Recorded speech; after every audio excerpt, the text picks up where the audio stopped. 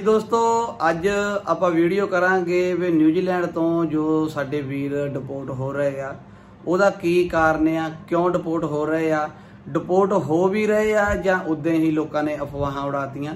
ਕਿਉਂਕਿ ਜਦੋਂ ਅਸੀਂ ਲਾਸਟ ਵੀਡੀਓ ਅਪਲੋਡ ਕੀਤੀ ਸੀਗੀ ਨਿਊਜ਼ੀਲੈਂਡ ਟੂਰਿਸਟ ਵਿਹਾਰ ਤੇ, ਤਾਂ ਸਾਡੇ WhatsApp ਤੇ ਬਹੁਤ ਸਾਰੇ ਸਾਡੇ ਦੋਸਤਾਂ ਨੇ ਮੈਸੇਜ ਕੀਤੇ ਸੀ ਕਿ ਬ੍ਰਦਰ ਨਿਊਜ਼ੀਲੈਂਡ ਹੁਣ 에ਅਰਪੋਰਟ ਤੋਂ ਬਹੁਤ ਜ਼ਿਆਦਾ ਡਿਪੋਰਟ ਕਰ ਰਹੇ ਆ। ਤਾਂ ਅੱਜ ਦੀ ਆਪਾਂ ਵੀਡੀਓ ਦੇ ਵਿੱਚ ਸਾਰੀ ਗੱਲਬਾਤ ਕਰਾਂਗੇ ਕਿ ਉਹਦਾ ਕੀ ਕਾਰਨ ਆ, ਕਿਉਂ ਡਿਪੋਰਟ ਹੋ ਰਹੇ ਆ। ਉਸ ਤੋਂ ਪਹਿਲਾਂ ਜਿੰਨੇ ਵੀ ਸਾਡੇ ਦੋਸਤ ਸਾਡੇ ਨਾਲ ਜੁੜੇ ਹੋਏ ਆ, ਸਾਰਿਆਂ ਨੂੰ ਪਿਆਰ ਭਰੀ ਸਤਿ ਸ੍ਰੀ ਅਕਾਲ। ਬਾਕੀ ਦੋਸਤੋ, ਤੁਸੀਂ ਸਾਡੇ ਚੈਨਲ ਤੇ ਜੇ ਪਹਿਲੀ ਵਾਰੀ ਆਏ ਹੋ ਤਾਂ ਪਲੀਜ਼ ਸਾਡੇ ਚੈਨਲ ਨੂੰ ਸਬਸਕ੍ਰਾਈਬ ਜਰੂਰ ਕਰਿਓ।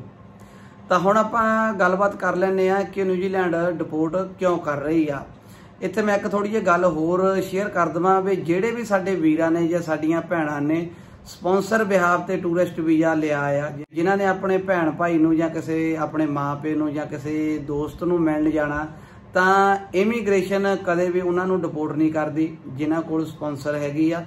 ਡਿਪੋਰਟ ਉਹਨਾਂ ਨੂੰ ਕਰਦੀ ਆ, ਜਿਨ੍ਹਾਂ ਦੀ ਹੋਟਲ ਬੁਕਿੰਗ ਆ। ਹੋਟਲ ਬੁਕਿੰਗ ਤੇ ਜ਼ਿਆਦਾ ਆਫੀਸਰ ਡਿਪੋਰਟ ਕਰ ਰਹੇ ਆ। ਉਹਦਾ ਕੀ ਕਾਰਨ ਆ ਕਿ ਜਦੋਂ ਸਭ ਤੋਂ ਪਹਿਲਾਂ ਨਿਊਜ਼ੀਲੈਂਡ ਦੇ ਵਿੱਚ ਟੂਰਿਸਟ ਵਿਹਾਰ ਤੇ ਬਹੁਤ ਘੱਟ ਲੋਕੀ ਜਾਂਦੇ ਸੀ ਪਹਿਲਾਂ ਜਾਂ ਤਾਂ ਸਟੂਡੈਂਟ ਜਾਂਦੇ ਸੀ ਜਾਂ ਵਰਕ ਪਰਮਿਟ ਵਾਲੇ ਜਾਂਦੇ ਸੀ ਟੂਰਿਸਟ ਉਹੀ ਜਾਂਦੇ ਸੀ, ਜਿਨ੍ਹਾਂ ਨੇ ਆਪਣੀ ਫੈਮਿਲੀ ਨੂੰ ਮਿਲਣਾ ਹੁੰਦਾ ਸੀ ਜਾਂ ਆਪਣੇ ਬੱਚਿਆਂ ਨੂੰ ਮਿਲਣਾ ਹੁੰਦਾ ਸੀ, ਤਾਂ ਉਹੀ ਟੂਰਿਸਟ ਵਿਆਹ ਤੇ ਜਾਂਦੇ ਸੀ। ਪਰ ਇਸ ਸਾਲ ਦੇ ਵਿੱਚ ਜੋ ਨਿਊਜ਼ੀਲੈਂਡ ਅੰਬੈਸੀ ਦੇ ਵਿੱਚ ਲੱਖਾਂ ਫਾਈਲਾਂ ਲੱਗੀਆਂ ਹੋਟਲ ਬੁਕਿੰਗ ਤੇ ਤੇ ਅੰਬੈਸੀ ਨੇ ਲੱਖਾਂ ਹੀ ਵੀਜ਼ੇ ਦਿੱਤੇ ਆ। ਜਦੋਂ ਜਿਆਦੇ ਲੋਕੀ ਜਾਣ ਲੱਗ ਪੈਂਦੇ ਆ ਤੇ ਜਿਆਦੇ ਉੱਥੇ ਫਿਰ ਸ਼ਿਕਾਇਤ ਹੋਣੀ ਸ਼ੁਰੂ ਹੋ ਜਾਂਦੀ ਆ। ਕਿਉਂਕਿ ਜਦੋਂ ਆਪਾਂ ਹੋਟਲ ਬੁਕਿੰਗ ਤੇ ਜਾਣਾ ਹੁੰਦਾ ਤਾਂ ਆਪਾਂ ਕਿਸੇ ਏਜੰਟ ਤੋਂ ਹੀ ਵੀਜ਼ਾ ਲੈਨੇ ਆ ਤੇ ਉਹਦੇ ਵਿੱਚ ਆਪਾਂ ਨੂੰ ਕੋਈ ਜਾਣਕਾਰੀ ਨਹੀਂ ਹੁੰਦੀ ਵੀ ਅਸੀਂ ਕਿਹੜੇ ਹੋਟਲ ਦੇ ਵਿੱਚ ਰੁਕਣਾ ਆ, ਕਿੰਨੇ ਦਿਨ ਰੁਕਣਾ ਆ, ਕਿਹੜੇ ਟਾਈਮ ਅਸੀਂ ਉੱਥੋਂ ਜਾਣਾ ਆ ਜਾਂ ਕਿਹੜੀ ਕਿਹੜੀ ਅਸੀਂ ਐਕਟੀਵਿਟੀ ਕਰਨੀ ਆ, ਉਹਦਾ ਕਾਰਨ ਇਹ ਹੋ ਜਾਂਦਾ। ਕਿਉਂਕਿ ਜਦੋਂ ਅਸੀਂ 에ਅਰਪੋਰਟ ਤੇ ਜਾਂਦੇ ਆ ਆਫੀਸਰ ਆਪਾਂ ਨੂੰ ਸਵਾਲ ਜਵਾਬ ਕਰਦੇ ਆ ਜ਼ਿਆਦਾਤਰ ਆਫੀਸਰ ਸਵਾਲ ਜਵਾਬ ਹੋਟਲ ਬੁਕਿੰਗ ਵਾਲਿਆਂ ਨੂੰ ਹੀ ਕਰਦੇ ਆ, ਜਿਨ੍ਹਾਂ ਕੋਲ ਹੋਟਲ ਬੁਕਿੰਗ ਆ।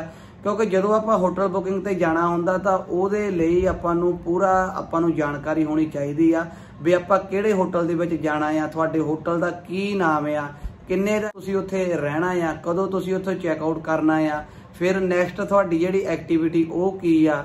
에ਅਰਪੋਰਟ ਤੋਂ ਕੌਣ ਤੁਹਾਨੂੰ ਲੈਣ ਆ ਰਿਹਾ ਆ? ਤੁਸੀਂ ਕਿਸੇ ਟੈਕਸੀ ਦੇ ਵਿੱਚ ਜਾ ਰਹੇ ਹੋ ਜਾਂ ਤੁਸੀਂ ਕਿਸੇ ਬੱਸ ਦੀ ਟਿਕਟ ਲਈ ਹੋਈ ਆ? ਤਾਂ ਤੁਸੀਂ 에ਅਰਪੋਰਟ ਤੋਂ ਕਿਸ ਤਰੀਕੇ ਨਾਲ ਜਾ ਰਹੇ ਹੋ? ਕਿੰਨੇ ਤੁਸੀਂ ਪੈਸੇ ਕੋਲ ਲੈ ਕੇ ਆਏ ਹੋ? ਜੇ ਤੁਸੀਂ ਪੈਸੇ ਵੀ ਜ਼ਿਆਦਾ ਲਿਜਾਨੇ ਆ, ਵੀ ਆਫੀਸਰ ਤੁਹਾਨੂੰ ਡਿਪੋਰਟ ਕਰ ਦਿੰਦਾ, ਉਹਦਾ ਕਾਰਨ ਕੀ ਹੁੰਦਾ ਵੀ ਜੇ ਤੁਸੀਂ 10 12 ਦਾ ਆਪਣਾ ਪਲਾਨ ਰੱਖਦੇ ਆ, ਤਾਂ ਤੁਹਾਡੇ ਕੋਲ 1000 ਤੋਂ 1500 ਡਾਲਰ ਚਾਹੀਦਾ ਆ। ਜਦੋਂ ਤੁਸੀਂ ਵੱਧ ਲੈ ਜਾਂਦੇ ਹੋ, ਫੇਰ ਵੀ ਉਹਨਾਂ ਨੂੰ ਸ਼ੱਕ ਹੋ ਜਾਂਦੀ ਆ। ਕਿਉਂਕਿ ਜੇ ਆਪਾਂ ਇੱਕ ਦਿਨ ਦਾ ਖਰਚਾ ਲਾ ਲਈਏ, ਤਾਂ 100 ਤੋਂ 120 ਜਿਹੜਾ ਡਾਲਰ ਆ, ਆਪਾਂ ਇੱਕ ਦਿਨ ਦਾ ਖਰਚਾ ਲਾ ਸਕਦੇ ਆ। ਵੀ ਜੇ ਤੁਸੀਂ 10 12 ਦਿਨ ਰਹਿਣਾ, ਤਾਂ ਤੁਹਾਡੇ ਕੋਲ 1000 ਤੋਂ 1500 ਜਿਹੜਾ ਡਾਲਰ ਹੋਣਾ ਚਾਹੀਦਾ। ਜੇ ਤੁਸੀਂ ਵੱਧ ਲਿਜਾਨੇ ਆ ਤਾਂ ਫੇਰ ਵੀ ਉਹਨਾਂ ਨੂੰ ਸ਼ੱਕ ਹੋ ਜਾਂਦੀ ਆ। ਫੇਰ ਤੁਹਾਨੂੰ ਜਿਹੜੀ ਹੋਟਲ ਦਾ ਨਾਮ ਵੀ ਤੁਹਾਨੂੰ ਪਤਾ ਹੋਣਾ ਚਾਹੀਦਾ ਤੇ ਹੋਟਲ 'ਚ ਤੁਸੀਂ ਕਿੰਨੇ ਦਿਨ ਰਹਿਣਾ ਉਹ ਵੀ ਤੁਹਾਨੂੰ ਪਤਾ ਹੋਣਾ ਚਾਹੀਦਾ ਆ।